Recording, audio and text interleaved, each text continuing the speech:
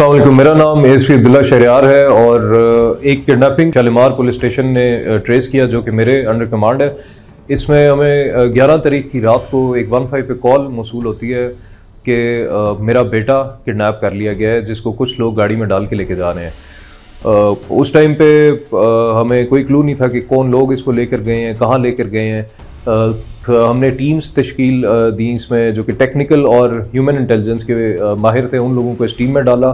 Safe city camera जात markets के petrol pumps के, तमाम हमने कैमरा जात चेक किए और हमें मुख्तलिफ़ जगह से इंफॉर्मेशन मिली, जिसको हमने तमाम इंफॉर्मेशन को गैदर करके उसमें से हमने कुछ शॉर्ट लिस्ट किए बंदे, जिनको में से एक बंदा हमने लास्ट नाइट हमने पिक किया और उससे जब इंटरोगेशन की तो उसके मोबाइल से हमें मगवी की पिक्चर मिल गई, जिसको जंजीरों से बांधा हुआ था और उस पिक्चर की मदद से मज़ीद हमने उसको इंटरोगेट किया।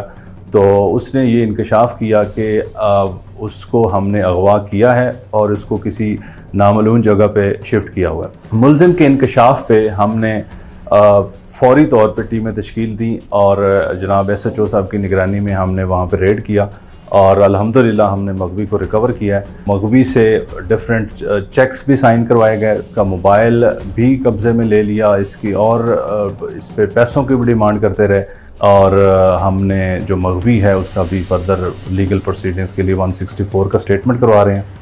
और मुलजमान को पेश अदालत करके उनका रिमांड हासिल करें।